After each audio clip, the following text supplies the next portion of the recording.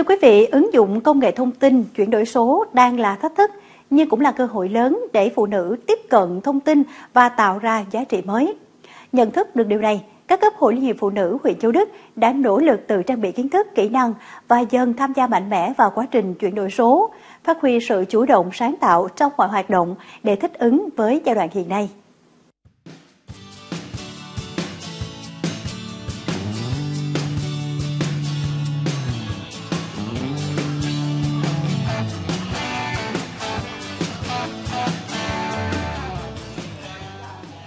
Đây là buổi tập huấn công tác hội do Hội Liên hiệp Phụ nữ huyện Châu Đức tổ chức định kỳ hàng quý.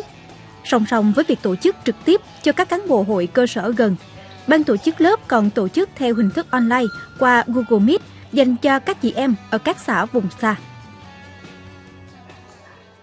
Thời gian qua thì à, Hội Liên hiệp Phụ nữ xã Sơn Bình cũng à, thành lập các nhóm à, Zalo, Facebook để hội viên tìm kiếm, chia sẻ các hoạt động chủ trương chính sách à, liên quan đến phụ nữ. Thì từ đó giúp à, hội viên phụ nữ dễ dàng à, tiếp cận những thông tin hữu ích. Những cái trang mạng của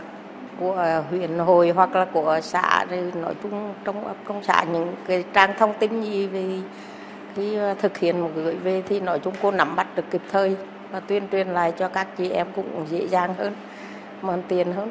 thì trước đây mình có thể là mỗi cái văn bản mình đều in ra và chuyển về cho các chi hội. Thì với một cái địa bàn nó cũng rất là rộng có thể là đi từ chi hội này qua chi hội khác. Nhưng mà từ khi triển khai cái ứng dụng công nghệ thông tin trong công tác hội thì à, việc mà chuyển đổi những cái văn bản của cấp trên xuống dưới chi hội thì lại rất là nhanh. Ví dụ trong có những cái nhóm zalo của chi hội này mình chuyển vào trong nhóm thì tất cả các thông tin về à, hội nè từ các cấp văn bản cấp trên đồ thì sẽ được các chị cập nhật rất là nhanh. Ứng dụng mạnh mẽ tiện ích của Internet, các trang mạng xã hội đã và đang đem lại nhiều hiệu quả thiết thực trong việc tổ chức hoạt động của các cấp hội phụ nữ trên địa bàn huyện Châu Đức. Đối với gia đình em thì em có con nhỏ thì em thấy cái, cái, cái những cái kiến thức mà bên hội phụ nữ chia sẻ là về xâm hại tình dục là em thường em rất đặc biệt rất là quan tâm à, để em về em à, à, nói chung là em dạy con và à, có những cái hướng khắc phục và có thể là tuyên truyền cho mọi người được xung quanh được. Đến nay, 100% cán bộ chuyên trách cơ quan Hội Liên hiệp Phụ nữ huyện, Chủ tịch, Phó Chủ tịch Hội Phụ nữ các xã thị trấn đều sử dụng thành thạo các phần mềm tinh học văn phòng như Word, Excel, PowerPoint phục vụ cho nhiệm vụ chuyên môn. 100% hội cơ sở đã xây dựng được trang fanpage, các nhóm Zalo được hình thành từ cấp huyện đến từng chi tổ hội. Ứng dụng công nghệ thông tin trong hoạt động hội và qua các cái hình ảnh, các cái hoạt động hội sẽ được truyền tải lên các cái trang Zalo, Facebook và trang fanpage của hội thì từ cái à, à, ứng dụng công nghệ thông tin thì đã giúp cho cán bộ hội viên trên địa bàn huyện, nhất là chị em hội viên phụ nữ nhận thức được và lan tỏa được cái à, việc chuyển đổi số và góp phần trong cái công tác chuyển đổi số trên địa bàn của huyện. Khi ứng dụng được công nghệ thông tin này thì chúng tôi à, à, truyền tải vào cái nhóm Zalo chính của ủy viên ban chấp hành của các chi hội thì các chị sẽ chuyển cái tài liệu này vào các tổ hội thì những cái chị mà có được à, nằm trong à, sử dụng được cái à, điện thoại thông minh này thì họ sẽ mở ra và họ nhìn được cái những cái tài liệu mà hội cấp trên như từ trung ương chuyển về thì đến được tới cơ sở. À, tôi thấy là các chị cũng nói là các chị à, tiếp cận được những cái tài liệu này rất là nhanh. Hai năm nay, tuyến đường hoa này do chị em phụ nữ xã Kim Long khởi xướng đã thu hút được sự quan tâm của lãnh đạo địa phương cũng như chị em các địa phương khác trong và ngoài huyện. Để có được kết quả như vậy, ngoài sự nỗ lực của chị em hội viên trong xã, ứng dụng công nghệ thông tin và nền tảng Internet cũng có ý nghĩa quan trọng. Thời gian đầu các chị đã lên mạng để tìm kiếm các loại hoa phù hợp với địa phương, nhưng mẫu thiết kế đường hoa đẹp, dễ chăm sóc để trồng trên các tuyến đường trong xã. Khi hoa phát triển đẹp, chị em lại cùng nhau chụp hình, lan tỏa hình ảnh đẹp của đường quê Kim Long đến với bạn bè, du khách. Rất là hay. Và cái ứng dụng công nghệ thông tin này nè tạo được cái sức lan tỏa và nhân rộng không phải riêng Kim Long các cái đơn vị khác. Họ thấy đẹp họ cũng bắt chước họ trồng.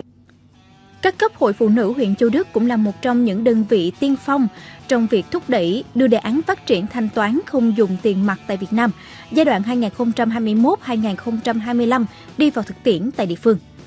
Theo đó, cán bộ hội phối hợp các đơn vị, đoàn thể, tuyên truyền, hướng dẫn chị em sử dụng dịch vụ công trực tuyến, tận dụng không gian mạng, nền tảng số, mạng xã hội và công tác thông tin tuyên truyền về đề án xây dựng mô hình chợ 4.0, tuyến phố không tiền mặt, đặc biệt phát huy vai trò cán bộ hội trong tổ công nghệ số cộng đồng, hỗ trợ chị em phụ nữ cài đặt và hướng dẫn sử dụng ứng dụng thanh toán không dùng tiền mặt. Kết quả 100% cán bộ hội phụ nữ các cấp trên địa bàn đã có tài khoản ngân hàng, cài đặt phần mềm thanh toán qua hình thức quét mã QR, chuyển khoản. Trên 50% chị em hội viên đã biết sử dụng hình thức thanh toán không dùng tiền mặt trong giao dịch, mua sắm. Trong sản xuất kinh doanh, nhiều chị em đã áp dụng hình thức giới thiệu sản phẩm và bán hàng online. Một số sản phẩm đạt tiêu chuẩn đã được chị em đăng ký giao dịch trên sàn thương mại điện tử. Gia đình chị Tạ Thị Hạ, xã Sơn Bình, làm bánh ít lá gai nhiều năm nay. Thời gian đầu bánh gai của chị chủ yếu để bán cho bà con trong thôn, trong xã.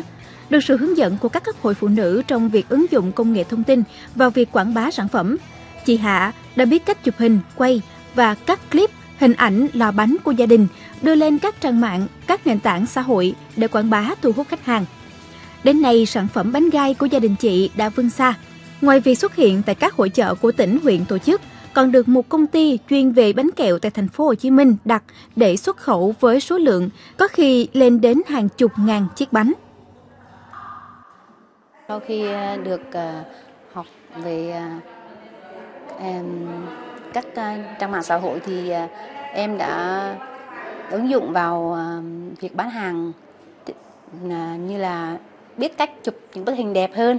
rồi biết quay video như thế nào để cho thu hút khách hàng.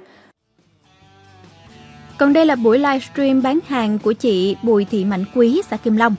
Năm 2020, nhận thấy xu hướng bán hàng livestream đang được nhiều người lựa chọn. Chị đã quyết định chuyển hướng, vừa bán trực tiếp, vừa livestream để mở rộng thị trường. Nhờ nắm bắt thời cơ, đến nay việc buôn bán của chị đã ngày càng phát triển với hàng ngàn đơn hàng được giao dịch thành công mỗi tháng. Việc mà gọi ứng dụng cái công nghệ có cái công nghệ ở vào cái việc mà bán hàng á thì rất là tốt tại vì tất cả những cái cửa hàng truyền thống hiện tại bây giờ muốn cải thiện cái tình hình tài chính của mình thì cũng nên gọi là ứng dụng cái công nghệ cái công nghệ à, để mà vào ở trong cái việc bán hàng của mình. Hội Liên hiệp Phụ nữ huyện Châu Đức hiện có 40.858 hội viên, sinh hoạt tại 94 chi hội và 876 tổ hội. Thực hiện công tác chuyển đổi số do tỉnh phát động, trong năm 2022-2023, Hội Liên hiệp Phụ nữ huyện đã ban hành hơn 20 văn bản, chủ động xây dựng kế hoạch, hình thức chuyển đổi số trong hoạt động hội, đồng thời chỉ đạo hội các xã thị trấn đăng tải các thông tin lên Zalo, Facebook, Fanpage để truyền thông tin một cách nhanh nhất, thông báo thông tin hội họp, lựa chọn đăng tải các chủ trương, văn bản từ trung ương đến địa phương một cách nhanh nhất. Với chủ đề năm 2024, ứng dụng công nghệ thông tin trong hoạt động hội, gắn với thực hiện khâu đột phá, đổi mới phương thức hoạt động hội, trọng tâm là ứng dụng công nghệ thông tin. Nhiệm vụ thực hiện chuyển đổi số tiếp tục được Hội Liên hiệp Phụ nữ huyện Châu Đức quan tâm. Đối với cái đội ngũ cán bộ hội và tuyên truyền viên của hội các cấp thì đã cập nhật và sử dụng 100% là thành thạo ứng dụng công nghệ thông tin trong triển khai sinh hoạt tại các à, chi tổ hội đều sử dụng bằng à, ứng dụng công nghệ thông tin.